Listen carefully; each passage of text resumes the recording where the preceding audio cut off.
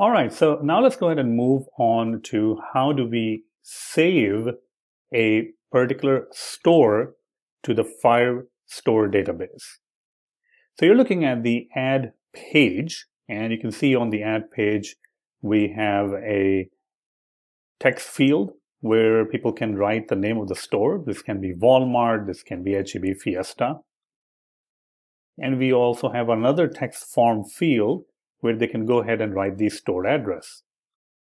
I'm using the form with a text form field because it comes with a validator. But right now, we don't have any view model behind this particular view to capture the values and to actually perform the addition of a particular store meaning saving the store. So we don't have that part done yet. So let's go back to our view models and we're going to go ahead and add a new file and we will call it add store view model dot dart. Now this particular view model is going to be representing this whole screen, everything that happens on this screen. So let's go ahead and start with the name. Add store view model. That's easy. Okay. So what exactly is going on on that screen on the right hand side? We need to capture a couple of different things, right? We need to capture the name of the store and we need to capture the address of the store.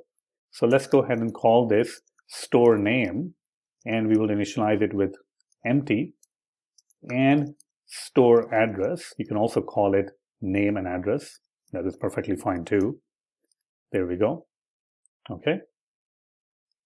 And now we need some sort of a way to store, meaning save these values. So for that, I'm going to go ahead and create a function and I will call that function save store. So let's go ahead and start with save store. Okay, so inside this function, first of all, we are going to take these values. We're going to take the store name we're going to take the store address and use it to construct a store model.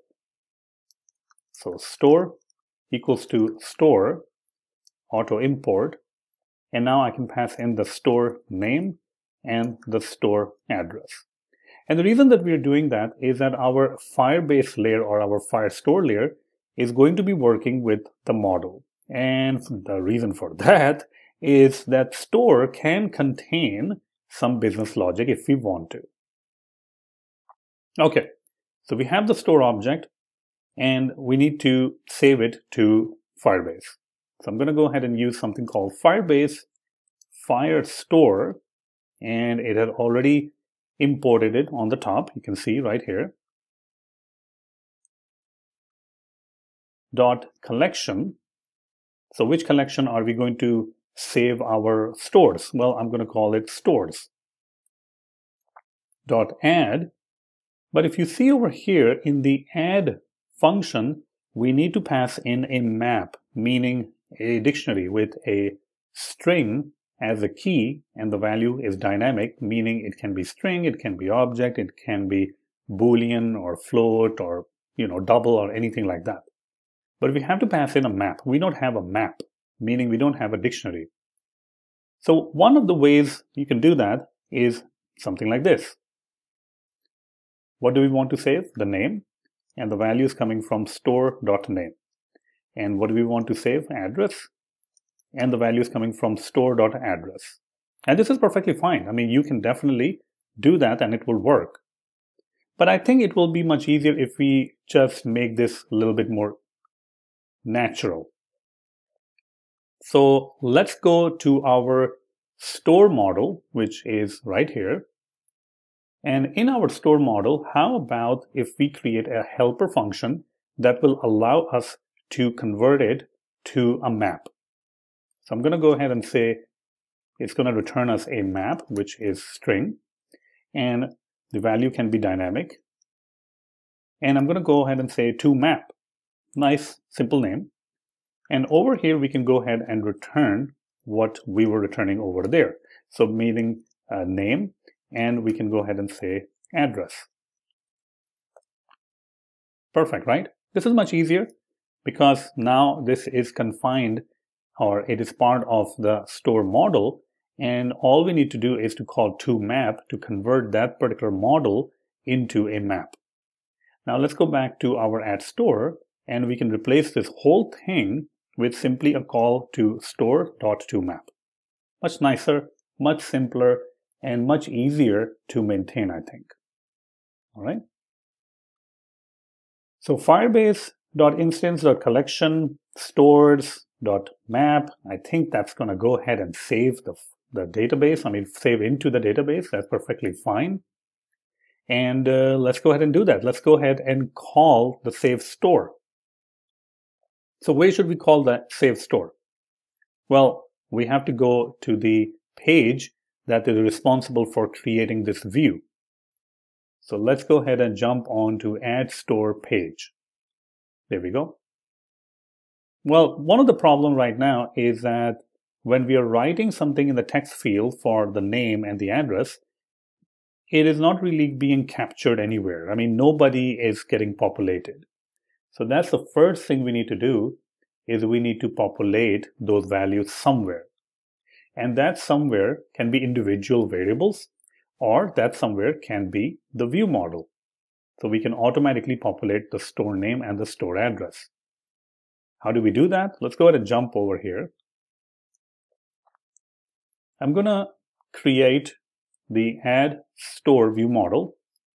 I'm going to call this add store VM for view model. And what we're trying to do is we're trying to populate the values into the add store view model. All right. So how do we do that? Well, the first thing is that we need to initialize this. I mean, this is not going to work because you have to initialize it. So let's go ahead and initialize add store view model. So there we go. Our add store view model is initialized, but the values and everything is blank. The name is blank and the, you know, the address is blank. Everything is blank. So let's go ahead and make sure that they are not blank and we are populating it. Whenever we type something in the text field, the on change event of the text field gets fired. And it is over here that we can go ahead and write some code to populate our add store view model. So I can say over here add store view model dot store name equals to value. This means that every single time that we are going to type something in the store name, it is going to be populated into the store name property of add store view model. And we can use the same exact technique to populate the address also. So I can say add store view model dot store address equals to the value. Perfect. So this means that these things are populated correctly. The next thing is we're going to go ahead and check out the on pressed event. And you can see on the on pressed event, is completely empty. So let's go ahead and call something over here. I'm going to go ahead and say save store. And I'm going to go ahead and pass in the context also. We will be using context. You'll see in a moment, but we're just going to pass in the context. So what are we doing in the save store? Well, we have to do a couple of different things. We have to first of all save the store. So whatever the name and address they provide, we need to save it into the Firestore database. And this is a modal, so we need to close out the modal also. All right. So let's go ahead and implement save store. There we go. Void save store. Actually, let's copy it. There we go. We're going to pass in the build context, and you'll see that why we're passing the build context in a moment. The first thing we need to do is we need to validate that the user has entered the store name and store address. And we can do that because we are using the form and the form is using a form key, which is right here.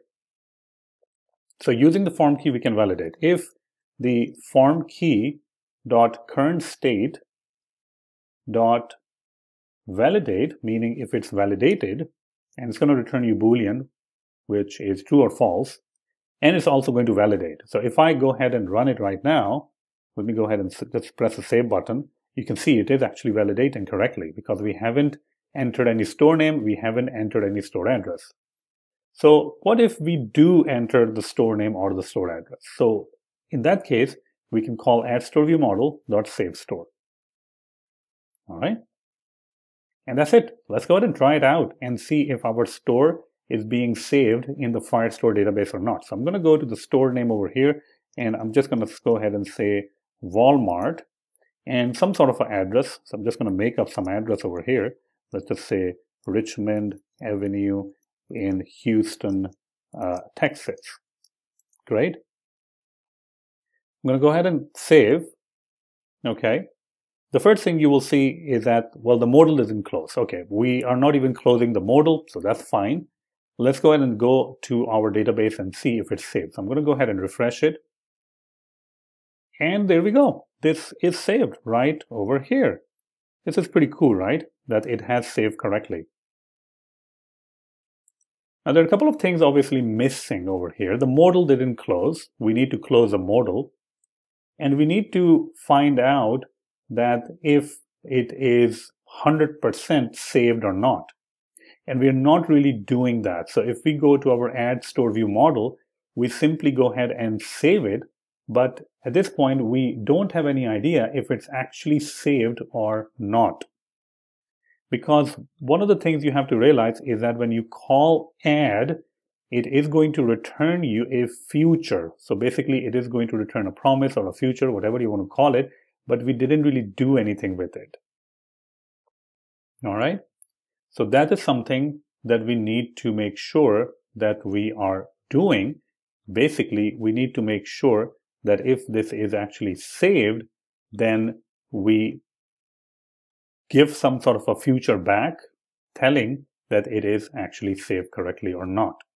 So let's go ahead and do that in the next lecture.